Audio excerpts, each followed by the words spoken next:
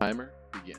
So you press effect, time, time displacement, and you're immediately going to see an effect here that uses multiple images and multiple frames in a video and loops them together. Now this effect is oftentimes used in rap videos and a lot of hip hop R&B videos. The whole idea is that you'll take one shot and you'll mix it in with a future shot or a later frame.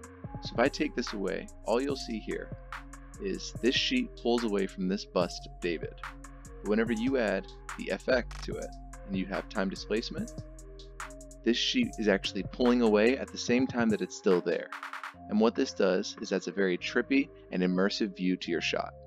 The time resolution, you can just change the frames per second, which increases the amount of shots that you're looping into one shot and overlaying with each other. And the maximum time displacement is saying how far away you want those shots to be taken. So if I go to 0.3 seconds and have the resolution be 100 frames, it's only going to take frames that are about 0.3 seconds ahead of the moment that I'm at currently. And you'll see it right here.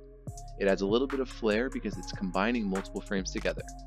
It's really good for making music videos, and if you ever just want to have an immersive, really interactive effect added to your shot. And like always, press Effect, Time, Time Displacement, and learn this for yourself.